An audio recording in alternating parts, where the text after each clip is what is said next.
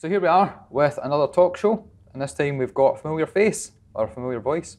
It's Robin from Moritz Grossmann. How are you Great to see you again. Yeah, fine. See, you can tell he's polite. He shook your hand. He did. This one was polite, not like those Swiss guys that were here last time. S- I know, and to be fair, one of them was Canadian, and even he turned out not to be that polite. He'll apologise for it later on. He will. He will. So why are you here? Um, I'm here because you asked me to show you more about some Moritz Grossmann watches, which I'm utterly delighted to do. Yeah. We did a podcast, I think it was November It time, was. and we didn't get much footage, we didn't get much in the way of photos. So I said to you, if you're kicking around, you're not doing anything, and since you're an unemployed bum, you said any time. you thought you'd come up to Scotland and show off the pieces that we actually spoke about Un- on the podcast. unemployed podcast. ex-spy, if you please. That's true. Until yes. he gets called up again, Yeah. unemployed ex-spy. Yeah. spy number one. So, Moritz Grossmann, for the people that haven't seen one of these shows before, haven't seen the podcast, well, haven't heard the podcast, the voice that you're hearing in the background is Rick. And he has a spy, so that's the reason he doesn't appear on film in anything. Somebody else needs to check all the red lights are flashing on this camera gear while we're doing it. I think it's fine. I think it's fine. I think it's okay. So we're all good. So, Moritz Grossmann, for the viewers that don't know anything about the brand at all, do you want to introduce it? Um, it is the quickest way of introducing it is to say it is Germany's most exclusive independent watch brand, uh, based in Glashütte, handmade, about 400 pieces per annum, uh, and made in a way which does the best that we can possibly do to honour the legacy of the guy that we're named for, which is uh, Moritz Grossmann, obviously. Uh, and he was one of the real founding fathers of the German watch industry in Glashütte way long ago. Right. Okay, we're done. We can go Done, home now. fine, Thanks sorted. very much. That's my pleasure. Again. Yeah. Right, it was okay. short. It was sweet. That was that was short and sweet. Uh, so give us a bit more background then. Uh, how long has the brand been going? What sort of markets do you cater to? What sort of range do you have? Okay, so um, we've been going 11 years on the button. Uh, so Christine Hutter, who's our chief executive, has been in the watch business uh, since she was a kid. She didn't go to university, trained watchmaker, had worked in some of the different um, brands in Glashütte, including Lange, for example. Uh, and at some stage in her journey through watches, decided that when she had the guts to have her own business, uh, she was going to base it in Glashütte, and she had discovered Moritz Grossmann's story in uh, a magazine somewhere because Moritz Grossmann's story is a great one, but ha- had died with him um, back at the end of the 19th century. So, so commercially, he was dead for more than a century. Uh, Christine got the rights to use his name, uh, actually opened the business in 2008. Uh, started with designing the first Benu. That was about a year and a half in the gestation. So we've been actually selling watches for not quite 10 years now. Right. Okay. So let me get this straight. The chief executive's surname is Hutter, Yep, and you're from Glashütte. correct. Is this like Arsene Wenger managing Arsenal? I, I, I had never seen it as that, but it's almost certainly there's, the same people have been involved in those different positioning things. I was yeah. thinking they could have named the company Hooters Watch Company. But Uh, They could well have done, and then this podcast stroke video would not be happening. yeah, and, Or it'd and intent- Moritz, although the green lighting and the other lighting that's available in this room would probably have been appropriate. yeah, and, and Moritz Grossmann's soul would not have been brought back to the world, which would have been a pity. it would have been. So, what was his connection back to the history of? Uh, Uh, so, so I'll, I'll try and do this as quickly as I can. Uh, Glashütte was a mining town.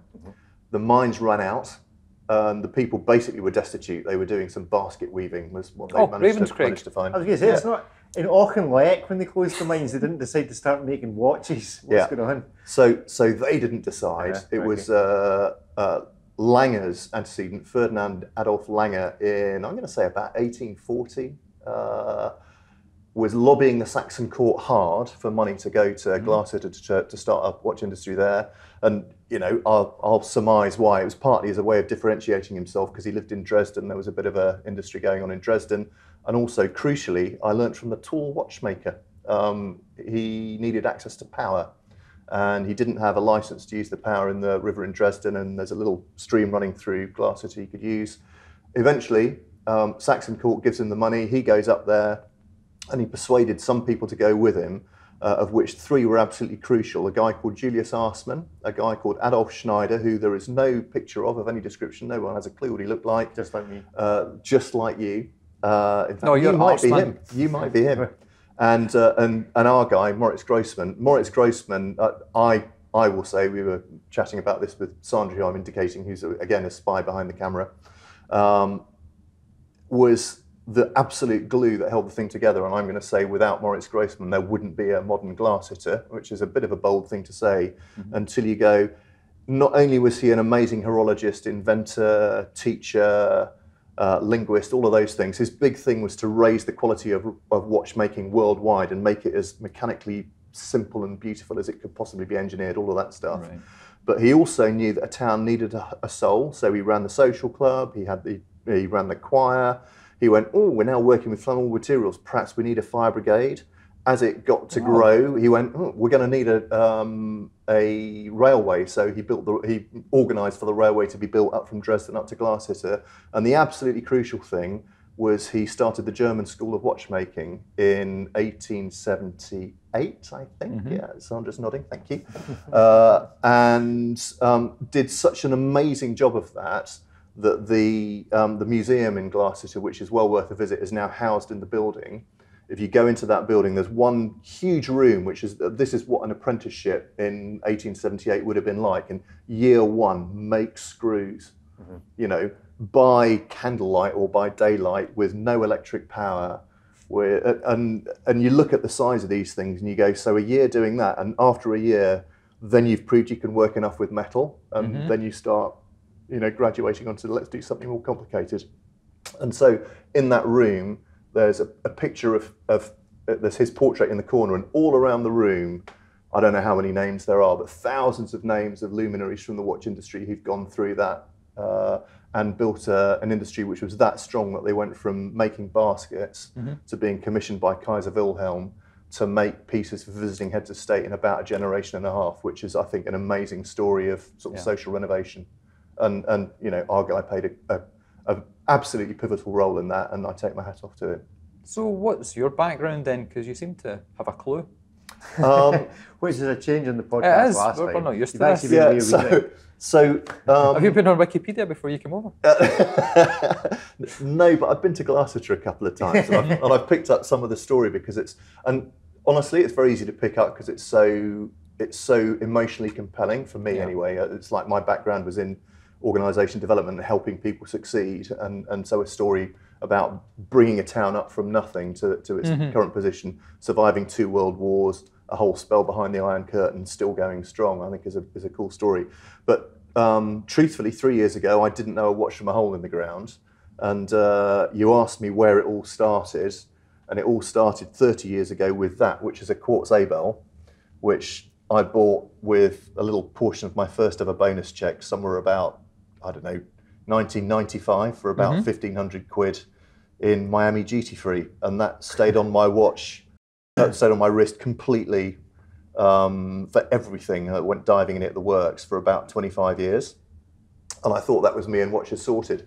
Then it turned out that in a drawer, um, which I'd completely forgotten, I had my dad's old um, Navy issue World War II Omega. Um, he was captain of a landing craft at D-Day, so this watch was at D-Day. Uh, I didn't know what I had. It had once upon a time it had the original strap, which was absolutely minging, Uh-huh. which I took off and threw away, knowing no better. Um, but uh, that's now time on her hands gave me a strap so that it could get back on my wrist. And the few is times I've? Uh, so so it is it's it's an Omega that was issued to my dad, who was captain of a landing craft by the navy. It was issued to him by the navy in the Second World War. So that'll be radium. Uh, it is indeed radium, so we need to have our lead Rick, suits on. here you go. Yeah, it, it, it, it is. And is it, and is it Royal Navy marked on the back? uh, it, it's got something on yeah, it. Yeah, it's got something. It's I haven't. It's got the wee pointy arrow It's thing. got the Yeah. broad arrow, so Yeah. it's official. I don't know if that's going to be one of the Dirty Dozen then, is it? Is that a Dirty Dozen watch? I shall inspect it from behind the camera shot. Do so, and you can explain to me what a dirty dozen watch is So later. I'm now displaying how little the I know. British military, I think it was it was the Second World War, wasn't it? Or was it the first? No, it must have been the second. I'm confused. First World War was was was slim pickings for wristwatches. Yeah, 'cause so that, that, that the was when they so were kind of in invented the, in so the, that people in could the tell the Second time World without. War, the British military uh, issued a requirement for the provision of watches for servicemen, Yeah, of which there were 12 companies that submitted, and it was all a standard Yeah. spec. And 12 companies submitted them, and only a few of them survived today. yeah, In that, uh, some companies only made 500, Yeah. others made hundreds of thousands. yeah. Uh, and so there's actually an article on the, there's an article on the Scottish Watches website all about it. Did you write this? I edited it. I did not write it. You put the mistakes I in. put the mistakes. I put the mistakes to somebody else's work. Put the Perfect. mistakes in and stole the pictures from somewhere. Yes. You TGV'd it. So Okay. Sandra. TGV'd it. Come and come and grab this Um, And, uh, carefully. and let Rick have a look at it so he can have a poke around at it whilst, whilst we're talking. We'll not do that again. Okay. That's cool. Um, well, we, prob- we should probably do an actual wrist check. So, Yeah. what have you got on the wrist today? So today, in addition to my little um, band thingy, which Oh. is which I which I've replaced Ankle my buddies. I've replaced my beard. I've decided if I, my beard was going to be there had to be another way of looking like an idiot. So I Mm-hmm. got one of these the other day. Um, so in addition to that, I've got a platinum Benu, which was the sort of official loan watch that I was given when I started agenting for. Moritz Grossmann. I couldn't quite believe I had a forty thousand pound watch on my wrist when I walked out the door. Uh, and the more I looked at its little red detailing and needle sharp hands, the more I thought this is a really cool watch. Okay. So that's what I've got. and what's it? White It, this is platinum. platinum. Um, so if I lob this your way, you can feel the heft of it, and you can go, "Oh yeah, that is platinum, fantastic." And you know the uh, butterfly buckle and the immaculate finishing on the back, which is the hallmark of anything Moritz Grossmann. And that is a big balance wheel. It is a big balance wheel. So um, a lot of decorated cock as well. It is um, a decorated cock, cantilevered to boot, uh, in order to accommodate the enormous balance wheel. We do stop at the pair of you. Uh, what do you mean, Rick? and you know why is it a big balance wheel? It's a big balance wheel because that's a nod to pocket watches, and if you listen to the tick speed, you'll hear that's satisfyingly slow. Uh, Oh, is it 18? Uh, it is 18. Yeah. Uh, and um, a German engineer would tell you that because it's bigger, it experiences infinitesimally less air resistance and therefore is in- infinitesimally more accurate, Oh, really? which was what Grossmann was about. Wow. That's uh, not sure that I would notice, but that's what an engineer tells me. Well, for anyone that cares, probably one person I'm wearing the Bulova Accutron. 1967, this is the first commercial electronic watch, not quartz, as some people think, but runs with a tuning fork. So it's not probably quite as old as your dad's little Yeah. guy there on the table, but Yeah. yeah, sold off. I, I can confirm that I am now wearing the Omega uh, Dirty Dozen watch and my Panerai is going in the bucket. Yeah, this is. Now, I'm not an expert at judging condition, uh, but I would say this is like. Uh, it's not mint because obviously some of the stuff has faded, but this is an absolutely epic condition for as an Omega Dirty Dozen watch, I believe. I might be proved to be entirely wrong, but this is something quite quite special you've got here. I'm going to Oh, I feel like I'm on the Antiques I, I was going to say I'm going to do my antiques road thing. Yes, if I was to value this today, Mm-hmm. Bob, it would be yeah. That is quite that's quite something. Very impressed with that. Lovely. Um, I what to do is like keep keep holding on to it very tightly. Yeah, yeah, yeah. I'll be fine. I'll be fine. Yeah. No, that's nice. And what else have we got on the table here? 'Cause you Uh, brought so- some of your own collection, Yeah. and you've brought some of the. and I brought some pieces interesting that, that you particularly well. wanted. So, so the four here are my own collection, Right. and and quickly I will take you through why it was I chose those in order. okay. So Um, uh, they make you make about how many watches a year? Uh, we doesn't make about, any. Yeah, we He make sells about collectively we make about 400. So I've got So about got I've got about about one of of the I've annual got about production, one is what percent we're of annual production. Yeah, exactly right. Are, are you actually that good a salesman? Uh, well, I bunked I, I bunked the numbers up a little bit. All right, okay, that's, that's, so so that's and obviously I've sold to myself extremely well. that's kind of my point. yeah, yeah, I, I have. I've done. I've done myself very well. So the first one um, is this one, um, which is a blue uh, Atum High Art.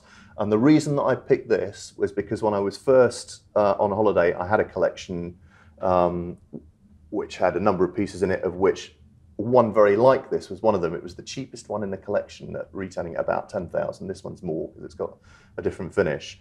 Uh, and I thought, if I'm going on holiday to the States on a big adventure holiday with my Yeah. wife and my little girl, and I want to keep posting on Instagram because I just learned Instagram at that point. It's like I need something to post. And, and I know if I ask Christine, she'll say, no, don't take any of them because you won't be insured. I went, well, what can I afford to pay for if it all goes wrong and I fall in a river? And uh, so that was the one I took. After three weeks of trotting around um, Vegas, we started out, we went riding in Montana for a week. We saw the eclipse in Jackson Hole. We went and did some hiking in Moab. We hiked all the way to the bottom of the Grand Canyon and we climbed all the way out again. That was hard work. Um, at the end of that three weeks, I had so fallen in love with that particular watch because we'd had a great holiday as well. It's not that at the end of the three weeks you wish you'd bought a G-Shock, no. no, no, it wasn't wasn't that at all. It's uh, I, I had completely fallen in love with that watch, and I, and I worked out for myself that as a proud owner of a fifteen hundred dollar Ebel, if I chose to, I could own a proper watch. Mm-hmm. And, and it's like boom! It's like why hadn't I thought of that before? But I but I I did, and then I had to have that one because um, by then it was a real good friend. Uh, that's number three of fifteen. Um, 15 pieces only in the world ever. And you don't any own any of the other of the 15? Uh, I don't own any of the other 15, just that one. One one seemed like enough, but the reason it's number three is uh, three is never worse than par. Uh, and I'm a bit of a golfer, and I decided that was going to be my lucky golfing watch. Right, okay. And the proof was in the pudding because the first time I wore it, which I know I shouldn't have been doing, everyone's told Here me I shouldn't go. have been doing Here that. Um, I was four under par with four to play, which for me is pretty extraordinary. Uh, uh, the second I realised that I took a triple bogey, I was going to say the fact that you said it was yeah. four under with four to play. Yeah, yeah. It, leads it then, it then went south. that yeah. So I, I, I went round in par. I dropped three at 15 and one at 16 and cursing myself, and then two So- pars to finish. So I was round in 70, which was good. What's this made of? That's steel, and and you know, put those two beside each other, and you go, Oh, yeah. oh yeah, I really can tell the difference now. Yep. It's, So- it's it's amazing. What is the, the little dimple? So the little dimple is the Armband Uhren Präzision Handaufzugsmechanismus. Vorsprung durch Technik? Yeah, kind of that as well. So um, it is the way in which you set the time with these watches. So the hands, um, and I'll give you this one because it's probably the best example from my collection to show you. The hands are super fine, like real filigree points, and they point at a subdivided minute scale Oh, yeah. so that you can set the time absolutely exactly. It doesn't help you tell the time because there's a second hand as well. Mm-hmm. But what you can do is you can synchronize the minute hand absolutely precisely with the seconds. We've sweated bullets to make it the most accurate it can possibly be.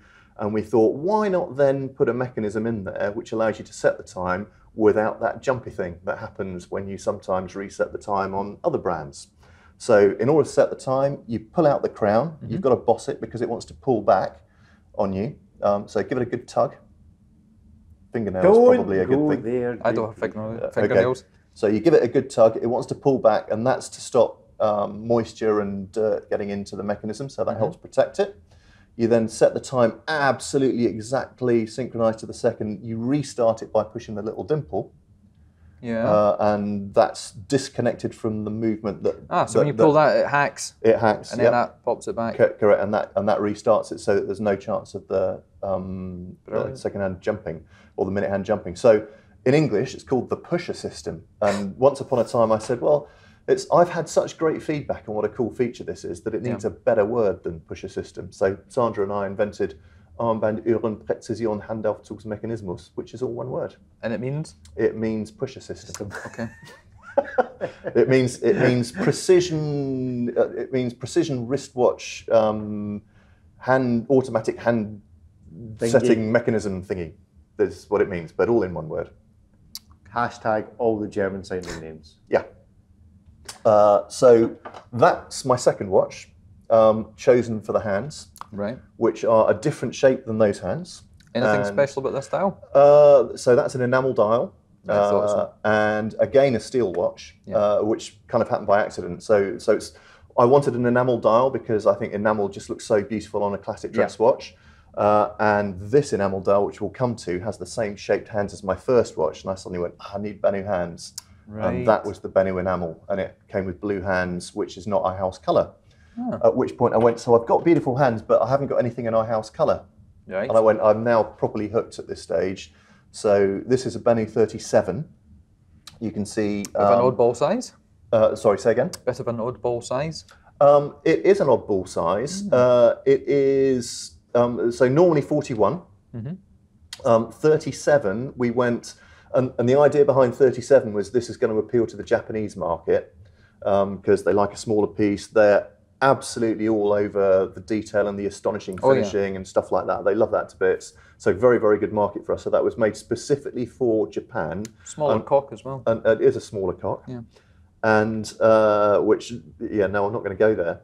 Um, and um, what we discovered was it actually sells to men and to women all over the world. So although it was made specifically with Japanese men in mind, it's such a it's I've called this a, a, a small watch with a big personality because there's there's so much cool about the way in which as we were shrinking the um, the case, Yeah. we kind of expanded the numbers, put a twist in them. Um, the hands get shorter, but they're the same diameter or they're the same width at the at the widest point. Yeah. At which point, actually, the whole thing starts to really come alive in front of you. And because the bezel, like most of our bezels, actually is so super fine, it's basically all dial. So on mm-hmm. your wrist, uh, and you know you're welcome to try it on. On your wrist, it looks a whole lot bigger than a 37 millimeter watch. So small watch, big personality. So I, I had that one ambushed me a little bit because I, after getting two steel watches, I thought I need something with rose gold, mm-hmm. and I was expecting I might get, you know, maybe a Benu Power Reserve or something like that. And I'd seen the pictures of the design pictures of this one before Basel in 20, get it right, 2018. And I went, mm-hmm. okay, cool watch, but it didn't grab me. Then when I saw it in the metal, I went, oh my god, this is so much cooler than than I expected it to be. And on the wrist, I'm now going to put it on because I can't resist. Um, on the wrist, it's just Yeah. fantastic. It's you know beautiful. So so that was watch number 3 At which point I went. I'm now feeling really upset with myself that I left the Atum enamel behind because I really like the Atum enamel. Um, because it's got a really cheeky blue 12. Never noticed that. Uh, Yeah. And I was feeling very guilty about leaving it on the shelf. So that became my fourth watch. What's the story with the hands? Because they're not exactly blue. Um, they are not blue, good spot. So um, house colour was what I was going to talk about, which you've reminded me. So ordinarily, and you know, for for this audience, you guys know that you heat steel, it changes colour. It's called annealing, and there's a specific colour related to a specific temperature. Yeah. Um, blue is traditional for watch hands. Blue's kind of easy to hit because there's a big wide band of temperature within which a watch hand is blue. This is brown violet. That's the colour immediately before blue and um, comes after brown. Okay, so a few colours brown, brown, violet, blue. The temperature band for brown violet is only 10 degrees centigrade wide, and it's not one temperature, it's kind of a continuum of temperatures as it goes from brown to blue. So at the lower end, you get a brown violet, which is kind of browny. At the top end, you get a brown violet, which is kind of blue. Uh, the unbelievably difficult thing heating one of these hand made hands by hand is to get the whole hand the same temperature at the same time so that from top to tail it's the same color that is really a hard job and it is also the last part of the hand making process you have to have it shaped and polished within an inch of its life before you start heating it where it won't heat evenly um, so in your two minutes worth of annealing you can destroy your entire morning's work um, very easily if it goes wrong. They chuck about 10% of them away, even though they're absolute master, master really good. watchmakers. They're, they're very, very well practiced. So what you're looking at there is a brown violet hand, and I'm going to say that one is, let's see what end of the spectrum these two are. These are both kind of at the blue end Okay. of the spectrum. So, so bluey brown How close are they when you were looking? Um, these two are very close, actually. Yeah. Very close in colour, and it's kind of actually quite unusual. We can see some of the others; they'll be different colours. But uh, when you're making the hands, Oh, they are. um, you end up having to batch them. So even if it passes Yep. quality control because it's not mottled, it's the same colour from one end to the other. you have to batch them in, in light colours because Yeah. you know one that was a little bluer than another which was a little browner would look so weird on a watch. So Mm-hmm. it's, you know they end up making little families of hands at the end of the day. That's brilliant. Or Heard that obviously week, with the people that do the normal bluing. Yeah, Heard them do the same thing. yeah, Yeah. And under these studio lights, you can really see. We'll get some close-up macro stuff to insert Yeah. here. Fantastic. yeah. So I've got some others. Shall I show you some others? Yep, that's what we're here for. Um, and I'll start with uh, this one. You're going to leave the big guy to the end. Uh, I think we should. Yeah, I think we should as well. This is going to be my fifth watch. Oh, Uh, this is a vintage look Benu Power Reserve, uh, and I love that for three reasons. Uh, let's hope I remember three when I'm explaining them. One is the unbelievable fineness of those hands. Those yeah. uh, I cannot say this with confidence because I haven't looked at every watch in the world, but I'm going to say with almost confidence they are the most extreme watch hands on the planet. Um, What's the thi- thickness? uh, It's, uh, I believe, a twentieth of a millimeter. Looking for yeah, someone's giving me a nod. So thinner than a hair, at their thinnest. How do you work with something like that? Uh, you get someone who knows what they're doing to do it. I've had a go, at, not not with one of those. I've had a go at one of the thick hands, and that didn't end well. So it's like how you how you work with something that thin. I just I've, I take my hat off to them. I think they're amazing. But it's so that extraordinary. Yeah. Um, the next reason that I love it is because it's got the antique logo. I was going to say, yeah, it's Uh, a kind of weird. And we first dug out the antique logo for Only Watch in 2017. Right. Uh, so the piece that we did for that, we gave with a pocket watch. So we did a, a- an original Moritz Grossmann pocket watch and its faithful um, wristwatch companion. so so it was a, basically an image of it, uh, and that antique look went over really well with the watch community. We'd only done one piece, so when it came around to only watch again, we were having kind of at that, at that stage I could say a streaky beard meeting because I still had a beard in those days, um, where we were trying to decide what to do for Only Watch 2019. Uh, and I said, so why don't we do the antique look on a Power Reserve because Power Reserve is our best seller. The antique looks really going to blow you away when you see it on a Power Reserve. And Teo said, yeah, Yeah. I like I like that idea so much that we're not going to do it for any Watch. We're going to do that for the for the main range. So the second reason is that, or sorry, the third reason I'm going to say is uh, that that is my contribution to horology, or at least the germ of the idea. So that's going to be my fifth watch. Is there a special way that they're actually on the pinion in the middle? Because it looks different from most other watches. Uh, I do not know the answer to that question. It almost looks like there's a, a diamond or a jewel on there, but Um, I know there isn't. yeah, uh, that, is- so that's that's just been black polished, I think. It is so sparkling from the yeah. distance over here. I can Yeah. see Yeah. it's shining as if it's a diamond. Yeah.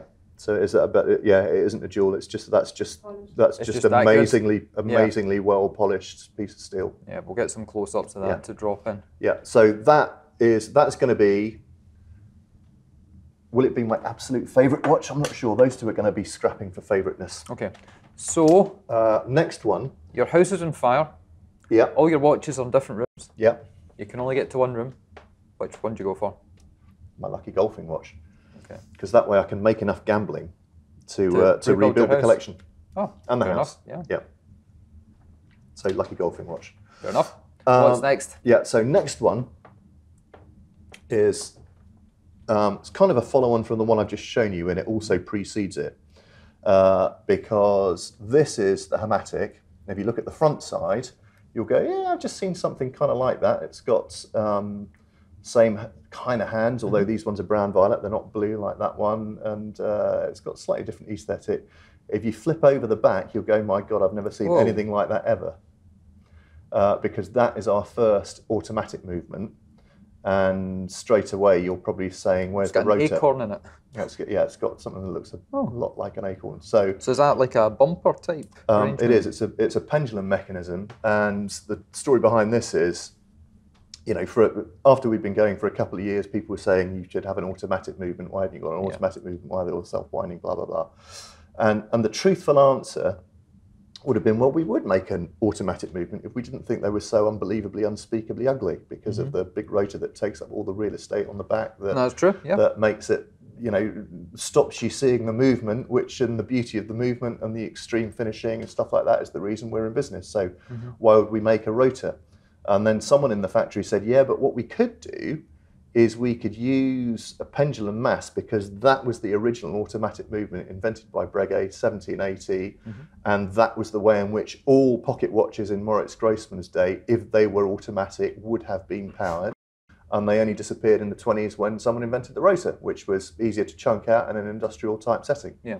so um, I think the last time, and I can't tell you which watch it was because I've forgotten, the last time a watch was made with this mechanism was, I think, the 60s. Right. So nowhere on the planet is anyone making a pendulum automatic movement today except for us. And for me, that's the most beautiful movement I've seen on a watch anywhere. And when did you guys bring this out? Uh, so prototype was released in Basel in 2017, 2018, 2018. Uh, and you know a lot of work had gone into that prototype, turning it from prototype to actually production ready and ready for the rigors of being worn in day-to-day life. That was another huge um, engineering challenge. I'm going to call it because that's what it was. Uh, and uh, Jorn, who was you know the guy who ran that is is is so clever he doesn't know how clever he is he's one of these guys that yeah, and you, I, I- I know the feeling. yeah so uh, absolutely as- astonishing piece of engineering and they've managed to make it of course stunningly beautiful Yeah. which is the reason that we're in business How much of the production of the movements is based in the in-house in-house? So, so when you decide, so one of the first decisions that Christine made when she was going, how are we going to build the first watch, was we have to make hands that Grossmann would have been proud of. And Grossmann was world renowned as a hand maker. He also made, in addition to what to pocket watches, he made um, micrometer gauges, which have to have needle sharp hands, hence these needle sharp hands that you're looking at here, so that you can read them super accurately. Yeah. Um, and if you're going to make hands like that, you kind of have to hand make them.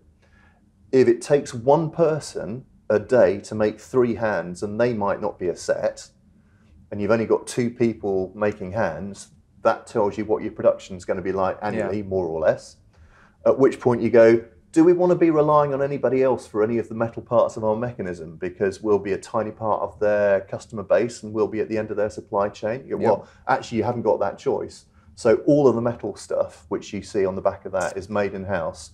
With the except, the only metal piece which is not made in house is the spring, um, which is you know super specialist equipment. And then you know glass isn't made in house. Um, you know the jewels, stuff like that. But all of the um, metallic parts of the movement made hand, um, precision cut with machinery to start with, and then all absolutely immaculately hand finished mostly with tools that the, ha- that the that the watchmakers themselves have made by hand because you can't get the tool to do the hand finishing. So where did you guys find these master technicians, craftsmen, if you've only been going for just over a decade? So Glashütte is uh, so you know legacy of Moritz Grossmann's school of watchmaking is that is that is that um, that skill has existed in the town ever since his day. Wow. Even you know the behind the iron curtain days, all, all the little Mm-hmm. ateliers were were gathered together in one big um, you know East German business, the Mm-hmm. GUB. The uh, and I'm not going to try and say it in German because I'll mess it up. Uh, and when the wall came down, uh, the GUB survived, I think, only for months.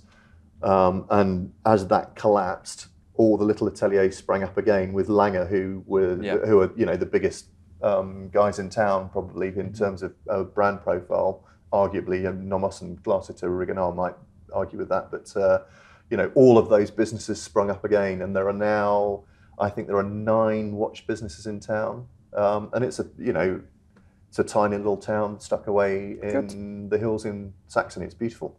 Might have to head over and have a look myself. You should. You definitely should. When you get there, come to the factory. I'll show you just a couple more Perfect. of these. So, just very quickly, I'll show you this one. The reason I'll show you that one is because it's kind of hard to find a rectangular watch uh, these days. That people do make them, but they're with most people out of fashion. We have specially designed a That's got a rectangular movement, to go in it. yeah. So it's not it's not a It's not a circular movement No. that's been shoehorned into a rectangular case. It's a, it's a specially redesigned movement that looks absolutely gorgeous. Quite that heavy? uh, quite, but lighter than it should be because it's actually that's that's steel which is plated because it's it's the it's the traveling collection. Right. The, the the real version would be much heavier in your hand than that. What's the real one? Is that It- platinum? it's uh, so it's white gold. Right. Uh, so there's that one. Then there's a cool story behind each of the three of these, and I'll start with this one. I think How much is this one? uh, that one is top of my head, low thirties. Mm-hmm. I really like that one. And this is not the kind of style that I would normally go for. And again, you're Doesn't welcome, really welcome go to with try the it on. luminous t-shirt. I But it's black. It does. It's black. True, that is a good Uh, so point. and and because you know we're happy to custom make things, we could make that black with we could do the numerals in Mm-hmm. that color. I'm sure we could do it. So you Oh, could do the Moritz four and Grossmann six. Would turn in his grave. We could do the four and the six Yep. maybe just in that color, and all the rest in white. You'd have to put a six on it. We'd have to put a six on it. Yeah. We could put a six where the seven is. Oh. Boulevard. And you just have to Yeah. GMT plus one. Yeah, yeah, Sounds yeah, good. exactly. Yeah, Good. no space for a six where the six should be because Yeah. that's where the uh, the sub-second dial lives. Um, so this one, uh, Oh. have a have a look at that whilst I'm. Uh, in fact, Oh. in fact, tell me about that. You tell me about that. Uh, Mother of Pearl Yeah, with a moon. yeah. Don't know if it's a moon phase, doubt it. It's not a moon phase. No, it's got just a tilted beveled dial yeah asymmetric tilted with bevel dial. slightly changing coloured stones of different sizes and a really interesting pattern. Have I missed anything? Uh, lugs. Oh, yeah, I missed that completely. Um, half price sale? so lugs that only Wow. collect on one side. Yeah. And uh, and what's the position of the sub-seconds dial? Mm, seven-ish. It's down at seven o'clock. So so completely asymmetric in lots of different ways, but kind of looks balanced. Is this using the golden ratio or anything? Uh, ooh, do you Looks know what? like That's- It's a it's a great question, and I should know the answer. I don't. It may well be, and the reason I say it may well be is because it was designed by someone cleverer than me. Uh, so the inspiration for that came to a guy called Michael Coe during a watch dinner, uh, I think in about 2017, 2016, something Right. like that. Um, Michael is a uh, Singaporean uh, sculptor, really, whose thing is is finding ways of setting off precious jewels and stuff like that, so that they really look amazing. He saw a very very plain version of that watch with the um, sub seconds dial down at seven o'clock. Uh, and all the rest of it just completely plain, which was a range piece at that time. The vision of this watch flew into his head whilst he was looking at it. He left without speaking, went straight to his design table and designed that overnight. Came back the next morning and said, "Do you guys want to collaborate on making this watch?" And we said, "Hell yeah, it's fantastic, absolutely beautiful." Uh, and we called it the Sleeping Beauty in honor of his long evening at the design table. So how many collaborations do you guys do, or is it something very rare? Uh, so we've done it more than once. We, we've um, I can't show you any pieces here, but a couple of times we've done really successful um, limited edition ranges for Seddiqi. Oh, right. Uh, there was one called the Extreme Dubai, and the story behind that was um, Seddiqi says to us, uh, uh, you know, there's a market here in the Emirates for um, distressed looking watches. Could you do me a distressed looking watch that looks like it's been buried in a sand dune for a while? And Theo said, well, if we're going to do that, we're going to make it really distressed, if that's okay. So, Yeah. well, and it sounds like an 18 certificate kind of a thing because it's like it's going to be really extreme. So we'll do a limitation of 18 pieces, but the last one will cut in two, and you'll you can have one half, and we'll have the other half, and so it's 17 and a half piece limitation, and we'll give you 17 to sell. Uh, there's a few pictures of those knocking around um, Right. that you can see. All 17 of those sold before it was launched. Uh, and then we did another really mad thing with sand inside the case, but another case inside so that it didn't get in the mechanism. And Oh, cool. that was called the Sands of Time. Um, again, for him, that sold out. And we've done uh, other limitations, none of which I can bring to mind for specific people. And we regularly do one off pieces for someone who says, Well, I kind of like that, but could we do it just with a few twists? Yeah. So, Good. yeah. What's next? Uh, next one is this one. Uh, another great story behind this one.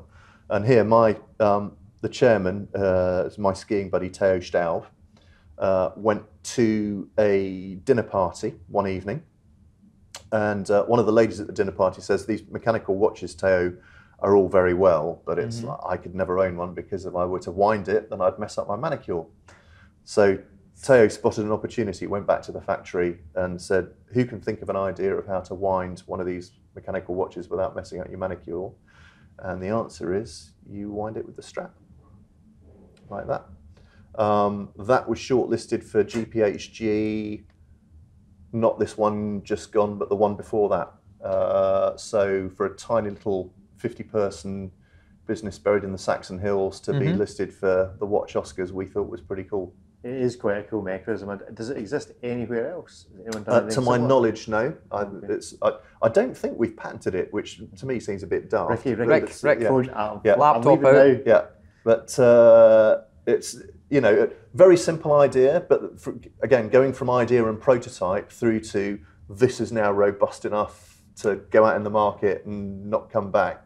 But when you say simple idea, you know, it's like the best ideas are simple. It's the first person that Yeah. gets there. Yeah, yeah, exactly right. And I can't believe that no one has thought of doing this before. Yeah, because it, uh, it's a beautiful piece, and there's there's a my my own uh, there's a few different versions of that same watch. My own uh, favorite is a thing called the Fancy, which again is completely asymmetric and, and sort of you know some sparkle involved and a bit of mother of pearl and stuff instead of the guilloche dial there. So I, I prefer that one, but it's kind of It's an interesting ratcheting arrangement in the back as well. It is, and it's uh, on the ratchet wheel. There's only 11 teeth, and the reason for that is you don't want to be winding it when you're just moving. So it wants to be quite a big movement before it actually puts some power in there. Right. Uh, but it's also geared so that you cannot possibly overwind it, and that was uh, Good, that was good. that was a lot of the the engineering difficulty. But uh, And I was think hearing, if you- Rick, Ricky's gonna Let's attempt test to that over- theory. Ricky's going to overwind it. get, get the drill out. yeah, yeah So, it's not eh. it's not as robust as a G Shock, so don't don't drop it out the window for goodness sake. And I was hearing earlier on that the way that this is geared, you only need to twist it what six times to get it Correct. fully round. Yeah, yeah, brilliant. six twists and you're there. Fantastic. There you go. So that's that one, and then the last one. that Well, I we're all bought out to of bring time, in- guys. So right, let's have a look at this guy. So the last one is uh, kind of the hero piece. Yeah. In this particular, so this is the tourbillon, uh, which is bigger, so you can probably see it better from over there. Uh, Yeah. 44 and a half millimeters, and fair heft to it. Although it's only white gold. If that was made out of platinum, you wouldn't Yeah. be able to raise your wrist because it's quite a, it's quite a big chunk of metal. I've Uh, got very strong wrists. I'll have you know. So then we will try on a platinum one. Yes, we shall. We'll just we'll we'll talk about the price later. Um, that particular one is a limitation of ten, uh, of which there are only two left. I think it's numbers four, uh, number four and number six are still available for someone who wants a beautiful um, black tourbillon with polished steel hands. What kind of tourbillon is this? Um, so it is. It's a flying tourbillon, uh, and the I think the most unusual feature of that is it. Have a look at the little V-shaped bridge that's turning, Yeah.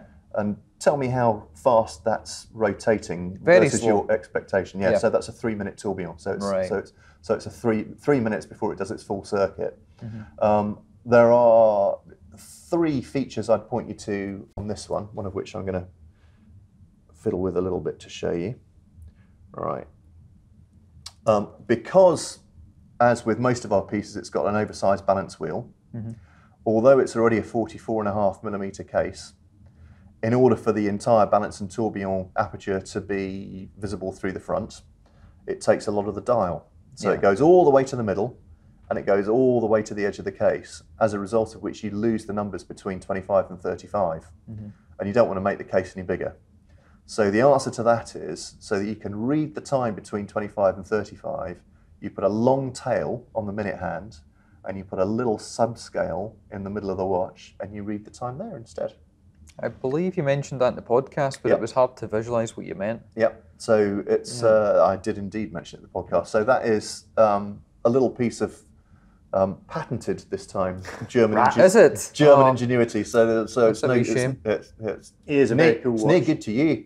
Um, Give us the lowdown on, the, for those who don't know, that may or may not include me, as the merits or otherwise of a flying tourbillon versus a non-flying tour? What's the? o- I mean, is a non is the opposite of a flying tourbillon a non-flying tourbillon? Uh, you'd have to ask someone who knew what they were talking about Oh, for the okay, answer to well, that one. You're, you're now you're now at the We'll edges of we'll my ask- of my ask horological knowledge. guest. Grounded tourbillons. Yeah, but I, I will tell you that a tourbillon in a wristwatch, honestly, is of absolutely zero practical value, other than to prove that you're a committed watch hand with a ton of money. Yes. Um, because the, the original idea of a tourbillon is to eliminate the effect of gravity um, Yeah. on a on a wall hanging um, marine chronometer, lest you run into a reef somewhere off Ecuador. Um, and uh, yeah, so the whole idea of a tourbillon on a watch is a bit weird, but um, very beautiful. How much? Uh, that one, round numbers, 150. Whoa. Okay. Yep. Uh, two we- other cool. Did we, did we the drinks, Ricky?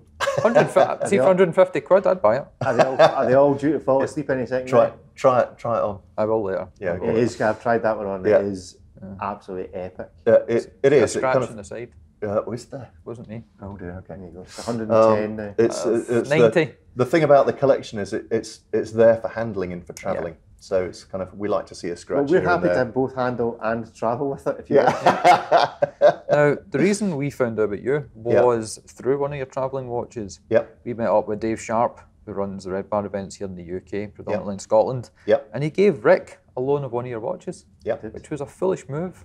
But hey, you're here today, so maybe it did work out in everybody's favour. Yeah. It's okay. I'm That's going to. Perth. I think that was where the wheels fell off. Yeah. so Should I- have kept going to Dundee. you know, and that's that's actually been a pleasure. So the first time I was up here in Glasgow was I don't know 15, 16 months ago, and I 1st mm. I first met Dave there.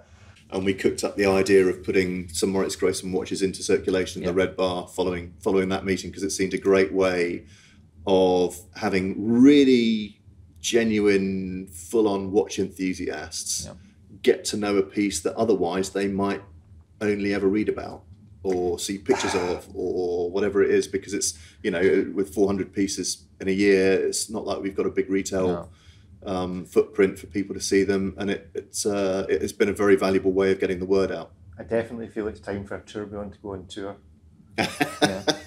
Maybe two. we, Maybe a couple of brands could do Maybe that. like yeah Ayrshire I'm not and- I'm not sure the insurance would work for that it's kind of we, I, we I don't mind insuring it.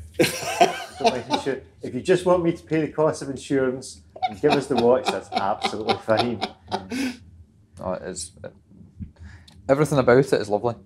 yeah so whilst you're handling it it's um there's Losing two value.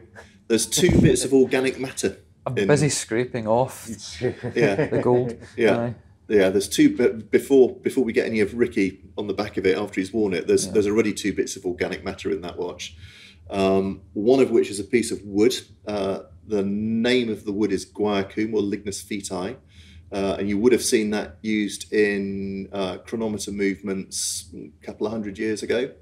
Uh, and cool thing about this wood is it's very hard. It's very easy to shape and it's also very stable, so it doesn't sort of move about with temperature and, and uh, humidity and stuff like that. What's it used for Uh, in here? crucially, it's self-lubricating. So what it's used for in there is it's um, is a brake on the wheel that um, drives the second hand, so the he- second hand moves just with an absolutely perfect sweep like this. Uh, and were we to use normal materials, then what you'd need to do is you'd need to get at that capstan about once every four or five years and lubricate it. With the self-lubricating wood in there, it will need servicing in about 400 years, is our guess. Uh, so that's cool. I'm not going to make that, regretfully. You managed to nearly 400 years. Deadpool but- will have paid out by Yeah. the time that needs lubricated. Right, and what else is in Uh, this? then? and so the other bit that's in there is a piece of, uh, so there's a brush. And we talked about this in the podcast as well, but I can now, I'm if you if you look in like whether I don't know what's Yeah. going on here. So if you if you if you look at I know you are. Um, if you look in where the 25 is, you might be able to see the brush because you know where to look now. Um, so where's the loop? Here we go. That's that's a loop Grab that in and, Germany. and, uh, Is this yours, Rick? My and have a and have a look.